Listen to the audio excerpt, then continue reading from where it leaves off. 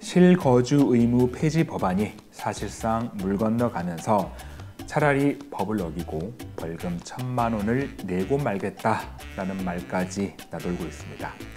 그런데 정말 주의하실 건 벌금으로 끝나는 게 아니라 집까지 뺏길 수 있다는 건데요. 자세한 내용 알아보겠습니다.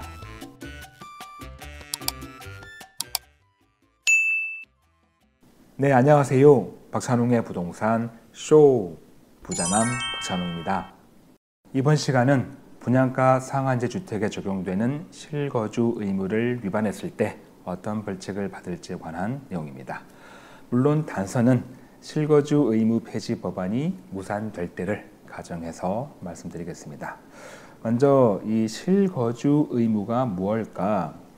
2021년 2월 19일 이후에 분양가 상한제를 적용한 주택을 분양받은 사람에게 최초 입주 가능일부터 최소 2년, 최대 5년간 반드시 거주하도록 의무를 부여한 제도입니다. 이 기간에는 주택을 양도한다거나 아니면 전세 월세 같은 임대차 계약을 쓸 수가 없는 거죠. 표를 보시면 음, 공공택지는 최대 5년, 민간택지는 최대 3년, 2년부터 5년까지 이렇게 실거주 의무가 부여가 되어 있습니다. 일종의 이게 족쇄죠. 음, 2021년이면 이제 한창 집값이 오를 때라서 이렇게 전세 끼고 샀다가 나중에 팔아서 차익을 남기는 이걸 조금 막기 위해서 일종의 족쇄를 채워 놓은 건데 이 족쇄를 올해 1월 3일 날 이제 윤 정부가 이 족쇄를 풀어주기 위해서 전매 제한 완화와 그리고 실거주 의무를 폐지하겠다라고 방안을 발표했었습니다. 근데 여기서 전매 제한은 이제 주택법 시행령이 개정이 되면서 풀렸는데 뭐 수도권은 최대 3년, 비수도권은 최대 1년 이렇게 단순화되면서 많이 풀렸는데 이 실거주 의무 어, 폐지 법안 일종의 개정안이죠. 이게 아직까지 국회 문턱을 넘지 못하고 있습니다. 1월 초에 발표했는데 지금 12월 이제 중순 지나가는 올해가 다 지나가는데 아직까지도 국회 통과를 하지 못하고 있는 거죠. 왜냐하면 이 실거주 의무는 음, 주택법에 있습니다. 그러니까 정부에서는 폐지하고 싶지만 중요한 건 법을 바꾸는 거라서 야당에서 반대하면 어떻게 할 수가 없는 거죠. 음, 정기국회는 이제 끝났고 어, 임시국회가 뭐 어떻게 열릴지 모르겠지만 어, 지난 6일날 법안 소위에 상정이 안 됐고요. 그래서 거의 어, 사실상 실거주 의무 폐지 법안은 음, 무산될 것으로 거의 보이죠. 물론 이제 어, 오는 뭐 한 20일쯤 음, 추가로 법안 소위를 열었을 때 그때 상정이 되고 통과된 다음에 뭐 임시국회 열어서 국회 본회의를 통과한다면 가능하겠지만 예, 그 과정이 쉽지는 않으니까 좀 아직까지 희망은 있습니다만 사실상 무산된 걸로 봐도 무방하지 않을까 싶습니다. 자, 그래서 음, 그 마지막 희망까지 이제 무너져 가지고 정말로 이 실거주 의무 폐지 법안이 무산되면 물론 이제 그 다음 희망은 다음 국회에서 다시 개정안을 발의하고 국회 통과되면 또 되겠죠. 하지만 이제 그거는 또 다른 문제니까 일단 이번 국회에서 봤을 때 어, 무산된다면 어, 이 실거주 의무를 위반했을 때, 법을 어겼을 때 어떤 벌칙을 받을까 이걸 좀 봐야겠죠. 제가 오늘, 오늘 영상을 어, 준비한 이유는 이 위반했을 때 벌칙에 대해서 일반인 분들이 조금 잘못 알고 계신 게 있어가지고 준비했습니다. 일단 이 법을 어기게 되면 어, 그러니까 위장 전입 같은 실제로는 거주해야 되는데 거주하지 않고 거주한 곳으로 속이면 징역 1년 또는 천만 원 이하의 벌금에 처해집니다. 이걸 가지고 실제로 징역을 보내진 않겠죠. 대부분 벌금 천만 원 이하로 어, 이렇게 나올 텐데 여기까지만 보시고 이제 그런 거예요. 어, 일부 수분양자 분양 받으신 분들이 차라리 벌금 내고 이거 어기겠다. 이 말은 무슨 말이냐면 어, 잔금을 치를 자금이 부족하신 거죠. 내가 충분한 자금이 있다면 뭐 그냥 내 돈 주고 잔금 치르고 내가 거주하면 됩니다. 다만 이제 자금이 부족하면 아무래도 전세를 주고 잔금을 치러야 되니까 그냥 벌금 내고 쉽게 말하면 전세 주겠다라는 거죠. 그래서 이런 말들이 이제 기사들을 보면 많이 나오는데 문제는 뭐냐면 여기서 끝나는 게 아니에요. 벌금으로 끝난다면 뭐 이렇게 하면 되겠죠. 벌금 또는 과태료 끝난다면. 문제는 벌금으로 끝나는 게 아니고요. 그 벌금 내고 나서 LH 한국 토지주택공사죠. 여기에다가 매입 신청 그러니까 여기다가 팔아야 돼요. 예. 이거는 반드시 팔아야 합니다. 그럼 이제 궁금한 건 여기에 판다면 얼마에 파는 거냐? 이걸 만약에 제값을 받으면 그냥 벌금 내고 팔겠죠. 제값을 쳐주면 시세만큼. 그렇지가 않은 게 문제죠. 얼마에 파냐면 음, 일단 분양 받으신 분이 납부한 입주금, 뭐 분양가겠죠. 여기에다가 이 입주금의 분양가에 은행의 1년 만기 정기 예금의 평균 이자율을 적용한 이자. 그러니까 입주금을 은행에다가 1년 동안 맡겼을 때 발생하는 평균 이자 요것만 더 준다는 거예요.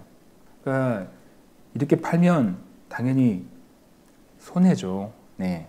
더구나 어, 실거주 의무가 붙었다는 건 분양가 상한제 주택인데 어쨌든 주변 시세보다는 낮을 거잖아요. 그러면 어, 이 분양가 상한제 주택 같은 경우에 실제로 입주했을 때 금액이 올라 있을 텐데 이거 제가 받지 못하고 그저 분양가에다가 이자 조금 더한 거 이걸로 판다고 하면 당연히 손해입니다. 물론 이제 어, 입지가 그렇게 썩 좋지가 않아 가지고 어, 분양가보다 오히려 조금 떨어진 곳이 있다면 그런 곳들은 팔만 하겠죠. 예, 좀 더 받으니까. 하지만 일반적으로는 음, 조금 올라 있을 거니까 그러면 이렇게 파는 건 상당한 손해를 감수하는 거예요. 그래서 벌금으로 끝나지 않고 이 주택이 LH에 넘어가니까 신중한 판단이 필요하다 라는 겁니다. 근데 사실 어, 이렇게 실거주 의무가 정부에서 발표했으니까 음, 폐지되겠지 하고 분양받았다면 내가 잔금 치를 능력 부족하지만 어차피 이거 실거주 의무 폐지될 거니까 나중에 내가 뭐 전세 주고 잔금 치르면 되겠지라고 했는데 이게 폐지가 안 돼가지고 실거주 의무 해야 된다면 이분들은 상당히 억울하고 좀 분하죠. 그래서 사실은 어떻게든 어, 이 실거주 의무 폐지 법안이 어, 제가 맨 밑에 적어놨습니다만 음, 뭐 이번 임시국회든 정 안 되면 어, 다음 국회에서 다시 개정안을 발의하고 통과시켜서라도 오늘 제가 말씀드린 이 내용이 의미가 없어지길 개인적으로 정말 기원합니다. 어쨌든 1월 3일 날 그 당시에 정부가 이 폐지 법안을 방안을 발표할 때 어떻게 했냐면 주택법이 실제로 개정이 되면 그때부터 시행이지만 법이 나중에 바뀌더라도 소급해 가지고 이미 분양가 상한제 주택으로 실거주 의무가 있는 것들도 소급해 가지고 적용을 시키겠다라고 했으니까 혜택은 받는 거거든요. 그래서 음, 개정안이 조속한 시기에 통과됐으면 좋겠습니다. 전국의 실거주 의무 규제를 받는 아파트는 총 66개 단지 4만 3,786가구입니다. 제가 서울과 경기 일부 단지를 표로 만들어 봤는데요. 입주 예정 일자를 보시면 내년 후반기나 내후년 입주 예정이라면 이번 국회가 아니더라도 다음 국회를 기대해 볼 수가 있겠는데 당장 내년 초쯤에 입주하는 단지들은 발등에 불 떨어진 겁니다. 어, 잔금을 어떻게 치러야 할지 난감하실 텐데 그래서 조속한 시기에 개정안이 통과됐으면 좋겠고 정 안 된다면 좀 여야가 협의해가지고 현재 법은 최초 입주 간행일부터 입주거든요.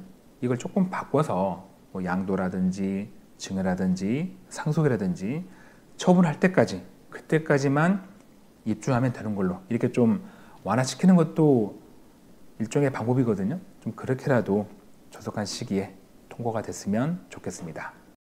이번에는 여러분이 참고하실 부분인데요. 법과 법령으로 벌금과 과태료에서 여러분이 주의하실 것 알려드리겠습니다.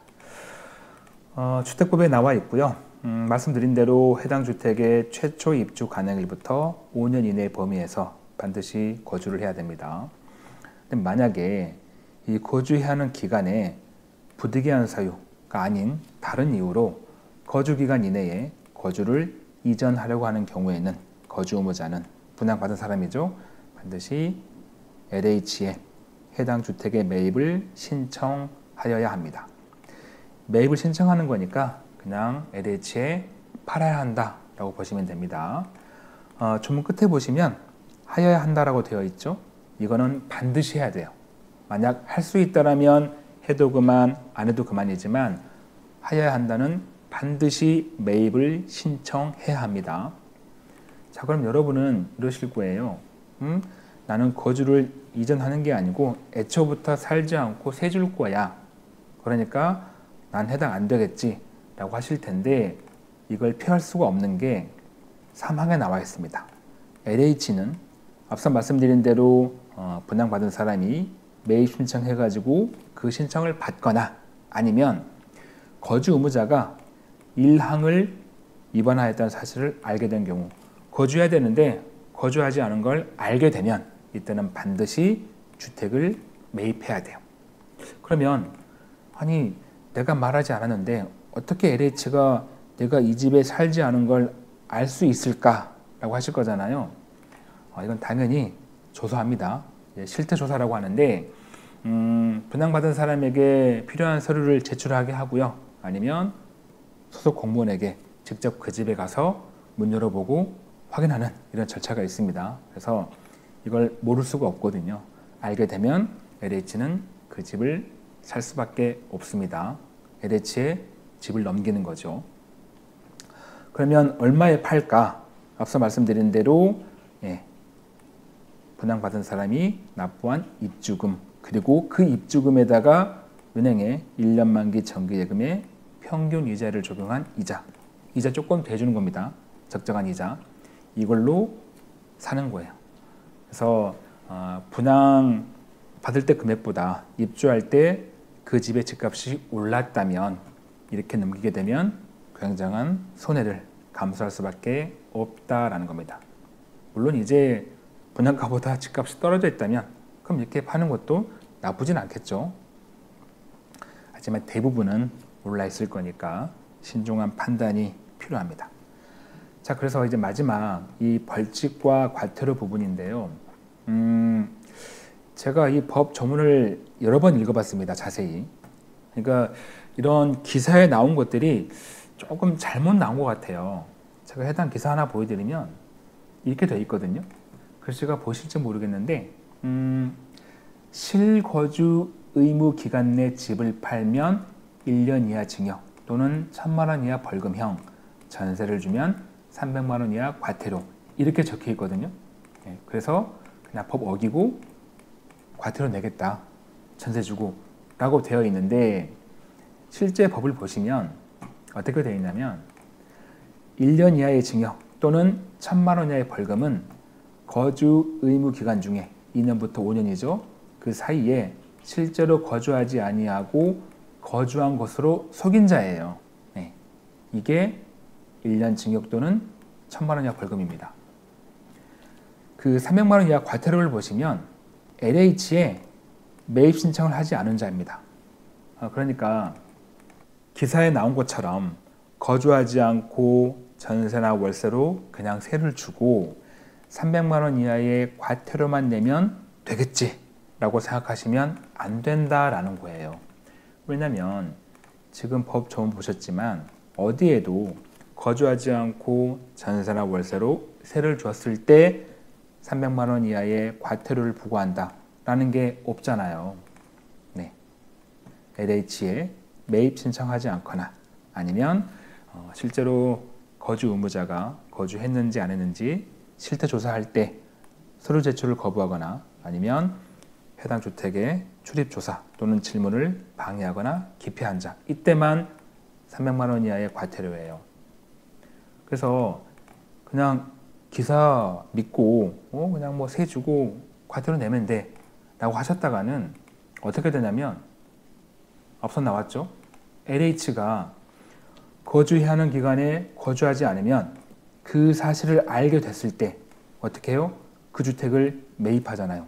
LH에 집 넘겨야 됩니다. 네, 그래서 반드시 주의하셔야 되고 또 한 가지는 앞선 기사에서 거주해야 하는 기간에 거주하지 않고 집을 팔면 1년 이하의 징역 또는 1천만 원 이하의 벌금이라고 했는데 제가 처음 말씀드렸죠. 이 거주 기간에는 집을 팔면 안 됩니다. 그런데 집을 팔았잖아요. 그러면 이 범위 내에서 더 무겁게 처벌받을 거예요. 그러니까 천만 원 이하 벌금이니까 이제 천만 원에서 조금 깎아줄 텐데 이걸 덜 깎아주거나 아니면 천만 원 다 받거나 이게 좀 더 괘씸하다라고 느껴지면 징역까지도 갈 수 있다는 거죠. 예, 괘씸죄가 적용되면 그래서 집을 파시는 건 예, 하시면 안 되는 겁니다. 예, 조심하셔야 되고 어, 솔직하게 이게 속인 자가 이렇게 벌금이니까 어, 물론 이제 어, 집 팔기 너무 아까우면 어떻게든 잔금 마련하시겠지만 오히려 그렇게 LH 파는 게 이득이다라고 하실 때는 솔직하게 내가 사정이 있어가지고 거주 못하고 어, 팔아야 되니까 좀 LH가 사가세요라고 한다면 뭐 과태료나 벌금을 조금 피할 수 있지 않을까 어, 싶어서 어, 신중한 고민하시고 결정하셔야 되고 이런 벌금이나 과태료 같은 경우에 사실 법 조문에는 정말 자세하게 나오지 나와 있지 않습니다.